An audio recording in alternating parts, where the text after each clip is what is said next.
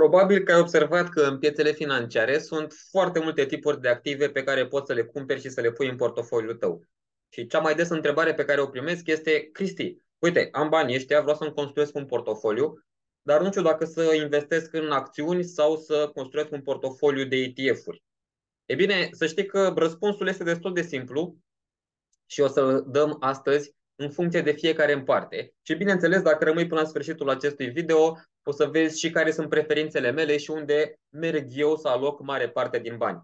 Te salut, Cristian Târboiu, sunt consultant financiar acreditat și investitor în piețele financiare.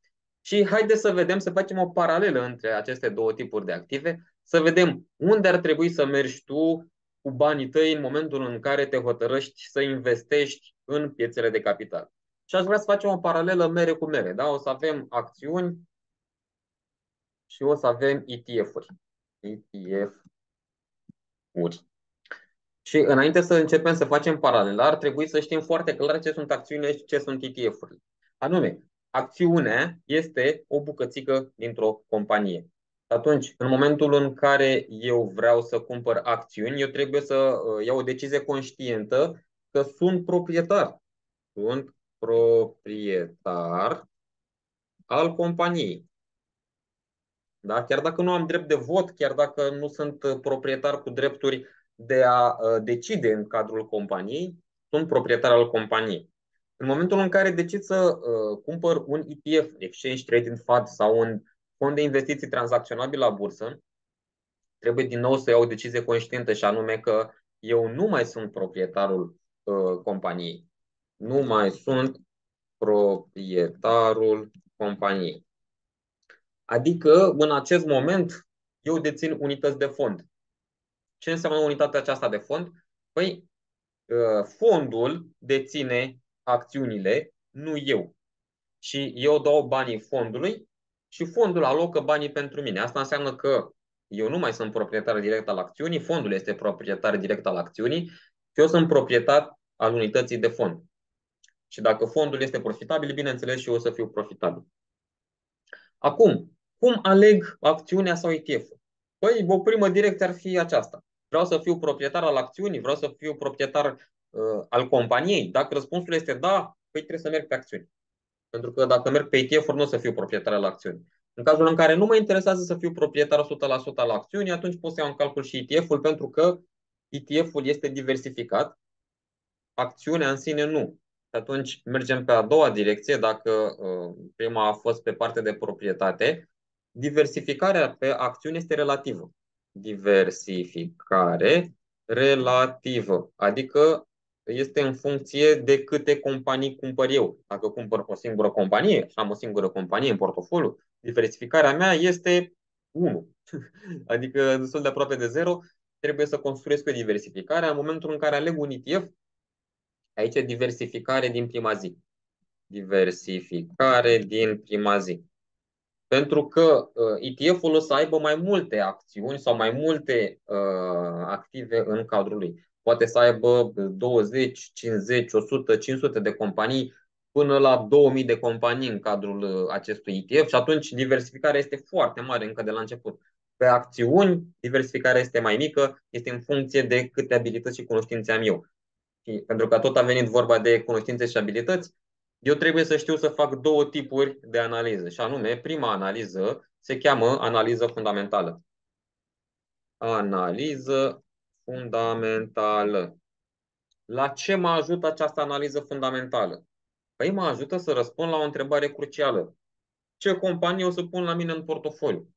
Da? În urma acestei uh, analize fundamentale o să iau raportul financiar, să-l deschid, să-l citesc și nu doar să-l citesc, ci și să fac o prognoză a prețului uh, acestei uh, companii pe următoarea perioadă, pe 5-7 ani, astfel încât eu să iau o decizie conștientă.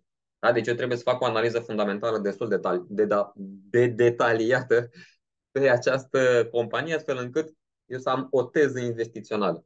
În momentul în care aleg uh, un ETF să-l pun în portofoliul meu, din nou am nevoie de această analiză fundamentală. Mă, nu scap. Analiză fundamentală. Doar că aici analiza fundamentală nu mai este pe uh, ce se întâmplă cu uh, compania în sine, ce se întâmplă cu prognoza pe următoarea perioadă. Când vorbim despre ETF-uri, ne interesează ce tipuri de active o să aibă acest ETF. Adică sunt ETF-uri focusate doar pe un anumit tip de active. Și dacă mă interesează acțiunile, bineînțeles, și aici diversificarea poate să fie destul de mare. Adică vor fi ETF-uri care sunt focusate doar pe uh, acțiuni care oferă dividende. Sunt uh, ETF-uri care sunt focusate pe acțiuni care sunt de tip growth sau sunt, uh, sunt ETF-uri care sunt focusate pe uh, ETF-uri de tip penny stock. Și atunci, analiza fundamentală uh, o să o fac la început, o să-mi aleg câteva ETF-uri pe care să le pun în portofoliul meu și apoi doar o să cumpăr lunar uh, unități de fond care vor să fie distribuite uniform în toate direcțiile. La acțiuni, în momentul în care vreau un portofoliu pe acțiuni, trebuie să fac analiză pe fiecare companie în parte. Da? Deci la ETF mă interesează doar direcția în care vreau să merg sau sectorul în care vreau să merg. La acțiuni mă trebuie să fac analiză fundamentală pe fiecare companie în parte. Asta înseamnă că pe acțiuni o să trebuiască să fac analiză fundamentală cam tot timpul. Da? Deci nu fac uh, astăzi analiză fundamentală și apoi gata, nu mai fac niciodată. Nu. Cel puțin anual, în momentul în care sunt uh, raportările financiare, trebuie să mă uit pe raportul financiar și eu să-mi continui teza investițională. În cazul în care teza investițională se schimbă, atunci pot să iau niște decizii de a vinde sau de a uh, lua niște profite. La ETF-uri, analiza fundamentală o fac de la început, în momentul în care îmi aleg care sunt direcțiile și cam atât. Apoi, analiza fundamentală este destul de minimă. Ce analiză ar mai trebui să fac? Păi ar mai trebui să fac o analiză tehnică. Analiză tehnică. Dacă analiza fundamentală îmi răspunde la întrebarea ce cumpăr, analiza tehnică îmi răspunde la întrebarea când cumpăr. Și mare atenție, pentru că în momentul în care vreau să-mi construiesc un portofoliu investițional, indiferent că sunt pe acțiuni, indiferent că sunt pe ETF-uri, am nevoie de ambele tipuri de analiză. Adică trebuie să răspund la întrebarea ce cumpăr, care, pe care dintre companiile aleg să le pun în portofoliul meu și când cumpăr. Adică care este momentul oportun astfel încât eu să obțin randamentele maxime. Este identic și la ETF-uri.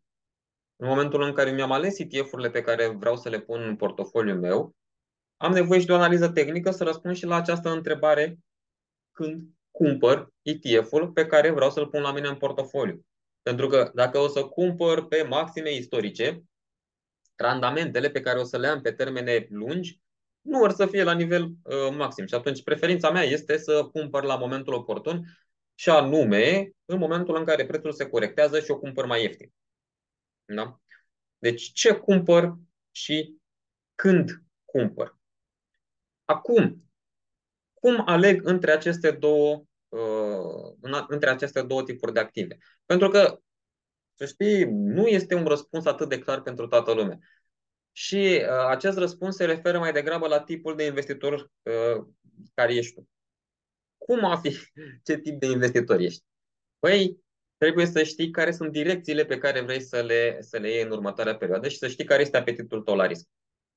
În speță, eu te aștept la programul de trei zile, la cursul de la House la Independență Financiară, astfel încât să dezbatem mai în detalii toate aceste acțiuni. O să-ți las un link, un link în descriere și o să vezi că nu este un răspuns atât de simplu, pentru că aici, pe lângă faptul că trebuie să știi care este profilul tău la risc, trebuie să știi și cam care este uh, nivelul de timp pe care vrei să îl aloci către fiecare în parte. Și anume, pe partea de acțiuni și pe partea de ETF-uri trebuie să ai un nivel de abilități destul de ridicat, însă nivelul de timp diferă de la unul la altul, pentru că acțiunile le folosești de obicei pentru portofolii pe termen mediu, adică undeva pe la 5 ani. 5, 6, 7 ani, 3 ani, 4 ani, undeva pe acolo, portofolii pe, timp, pe termen mediu, uh, diferit de un portofoliu pe ETF-uri. Portofoliul pe ETF-uri de cele mai multe ori îl folosim pentru perioade foarte lungi de timp, de la 10 ani încolo, 10, 15, 20 de ani. Pentru că randamentele pe ETF-uri sunt ușor mai scăzute decât randamentele pe acțiuni, însă și nivelul de timp pe care tu trebuie să-l aloci către portofoliul de acțiuni este ușor mai ridicat decât uh, timpul pe care trebuie să-l aloci pentru portofoliul de ETF-uri. Deci, diferența între cele două este, unu, nivelul de abilități pe care vrei să-l ai și doi, nivelul de timp pe care vrei să-l aloci pentru fiecare în parte. Acum, în momentul de față, eu către ce îmi direcționez mare parte din, uh, din active sau din banii pe care i-am. Mare parte din banii pe care eu investesc în momentul de față, eu investesc în acțiuni. De ce? Pentru că mie îmi place să fac aceste analize fundamentale, mie îmi place să fac aceste analize tehnice. Pe lângă asta, eu vreau să fiu proprietarul acelei uh, acțiuni și vreau să uh, îmi aleg eu acțiunile pe care le să le pun în portofoliu. Din cauza aceasta, în momentul de față, eu merg mai mult către portofoliu de acțiuni și cu o cantitate mai mică de bani către portofoliu de ETF-uri. Asta nu înseamnă că nu am deloc bani într-un portofoliu cu ETF-uri. Ba da, doar că proporțiile sunt mult mai mici către portofoliul de ETF-uri decât portofoliul de acțiuni. Pentru că în momentul de față uh, eu am și timpul necesar să îl aloc pentru a face aceste analize și, bineînțeles, și randamentele mele pe care le am uh, sunt și mai ridicate decât oferă piața în momentul de față. Și atunci, preferința mea în momentul de față este să aloc mai mult, mai, cantitate mai mare de bani către portofoliul de acțiuni și mai puțin către portofoliul de ETF-uri. Asta nu înseamnă că și tu trebuie să faci la fel, este în funcție de ce tip de investitor ești tu. Da? Deci mare atenție, este în funcție de tine. În cazul în care tu vrei să aloci mai puțin timp și vrei să ai niște investiții care să nu mai fie dependente de tine, să ia altcineva decizia pentru tine, atunci poate ar fi mai bine să mergi către portofoliul de ETF-uri. Acum, bineînțeles, eu te aștept în zona de comentarii să-mi spui care este preferința ta, către ce preferi să mergi, către portofoliul de acțiuni sau către portofoliul de ETF-uri.